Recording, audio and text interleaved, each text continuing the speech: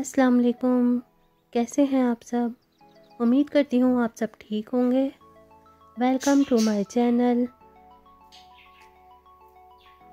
please subscribe my channel like and share my videos आज मैं बहुत मज़ेदार सी और आसान सी क्विक सी चिकन कढ़ाई की रेसिपी लेकर आई हूँ, जो कि बहुत मज़ेदार बनती है। चिकन कढ़ाई बनाने के लिए कढ़ाई में हाफ़ कप ऑयल गरम करें। और एक छोटी साइज़ की प्याज को हाफ़ चॉप करके डाल दें। अनियन को इतना फ्राई करना है कि थोड़ी सॉफ्ट हो जाए। चिकन कढ़ाई में प्याज नहीं डलती, मगर हम डाल रहे हैं क्योंकि हम थोड़ी ग्रेवी वाली कढ़ाई बना रहे हैं। और जायका भी बहुत अच्छा होता है इसका। तो हाफ़ अनियन चॉप करके डालें और इसको जब ये नरम होने लगे तो हम इसमें वन टेबल स्पून चॉप लहसुन डाल देंगे।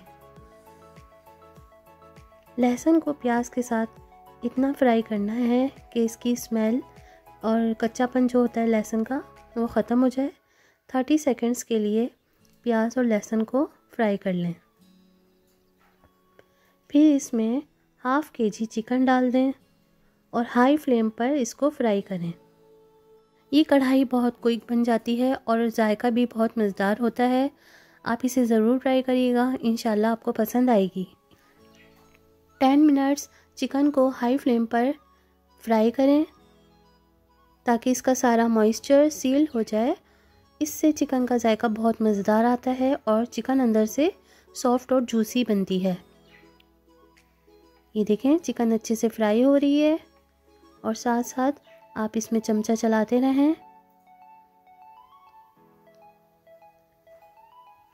टेन मिनट्स बाद जब चिकन पे गोल्डन कलर आ जाएगा और ये अच्छे से फ्राई हो जाएगी, तब हम चार बड़े टमाटर, जिनका छिलका उतार के बारीक चॉप कर लिया है, वो डाल देंगे। और हल्दी, नमक, पिसी हुई लाल मिर्च, कोटी हुई लाल मिर्च और एक चिकन क्यूब डाल देंगे। चिकन क्यूब ऑप्शनल है, अगर आपको पसंद है तो डाल दें अगर नहीं पसंद तो आप ना डालें स्किप कर दें। भुना कोटा ज़ीरा और भुना कोटा धनिया हम चिकन के गलने के बाद डालेंगे ताकि उसकी खुशबू आए।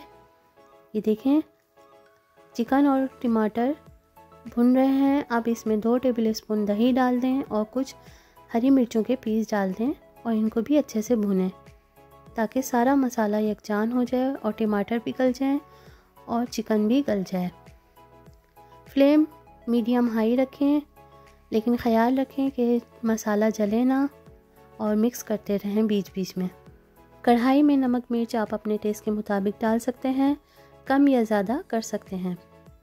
ये देखें, मसाला अच्छे से भुन रहा है। अगर आपको लगे कि मसाला जल रहा है तो एक दो स्पून पानी के डाल दें और अच्छे से भुनाई करें। थोड़ी फ्लेम हाई रखें। क्योंकि जब ये हाई फ्लेम पर पकती है तो इसका टेस्ट ज़्यादा अच्छा आता है। मगर ख्याल भी रखें कि ये जले ना। इसी के साथ साथ आपका बहुत शुक्रिया कि आप सब मेरे चैनल को देखते हैं और मेरे चैनल को सब्सक्राइब किया, मेरी वीडियोस को लाइक करते हैं कमेंट्स करते हैं। इसी तरह मुझे सपोर्ट करते रहें। साथ साथ देखें चिकन भी गल चुकी है तो हम इसमें कुटा हुआ धनिया और कुटा हुआ ज़ीरा जो कि मैंने भून के रखा था दोनों डाल देंगे और अच्छे से मिक्स कर लेंगे। इसकी बहुत अच्छी खुशबू आती है और बहुत अच्छा फ्लेवर आता है। अच्छे से मिक्स कर लें। इसको इतनी देर तक भूनें कि ऑयल अच्छे से अलग हो जाए और मसाला भी अच्छे से भून जाए।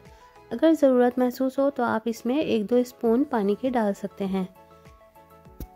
जब ऑयल अलग हो जाएगा तो हम इसमें सूखी मेथी और पिसा हुआ गरम मसाला, अदरक, हरी मिर्च, हरा धनिया डाल देंगे और थोड़ा गार्निश के लिए बचा लेंगे।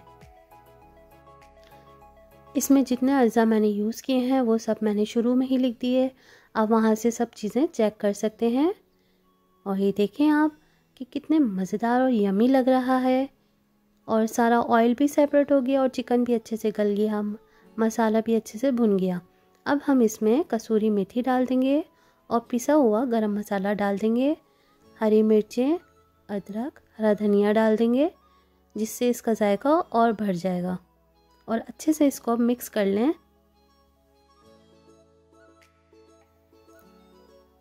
ये देखें, कितनी यम्मी लग रही है। आप इसे ज़रूर ट्राई करिएगा और मुझे ज़रूर कमेंट में बताइएगा कि आपको ये कैसी लगी। साथ साथ मिक्स करते जाएँ कि कहीं से मसाला जल ना जाए।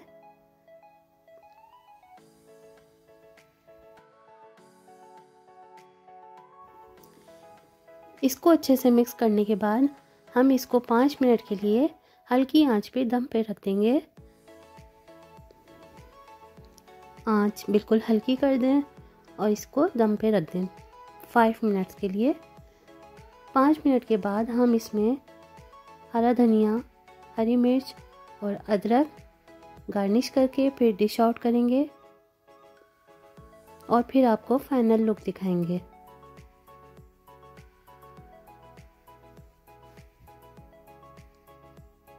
ये देखें, पाँच मिनट दम पे रखने के बाद इसकी कितनी खूबसूरत शक्ल आई है। ऑयल भी सारा सेपरेट हो गया और चिकन भी अच्छे से गल गई, मसाला भी अच्छे से गल गया और इसकी ग्रेवी देखें। अक्सर लोग कहते हैं चिकन कढ़ाई में सिर्फ़ बोटियाँ होती हैं, मसाला नहीं होता। तो आप ये ट्राई करें, इसमें देखें कितनी अच्छी और मज़ेदार ग्रेवी बनी है और जायका भी इसका बहुत अच्छा है।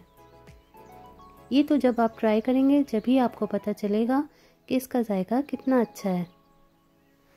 अब मैं इसको डिश आउट करके दिखाती हूँ। ये देखें, इसकी फाइनल लुक माशाल्लाह, बहुत यमी बना है। आप इसे ज़रूर ट्राई करिएगा। और मेरी वीडियोस को ऐसे ही लाइक और शेयर करते रहें। और जिन्होंने सब्सक्राइब नहीं किया वो भी सब्सक्राइब करें और अपने फ्रेंड्स एंड फैमिली के साथ शेयर करें। अपनी दुआओं में हमें याद रखिए। थैंक यू फॉर वॉचिंग अल्लाह हाफिज़।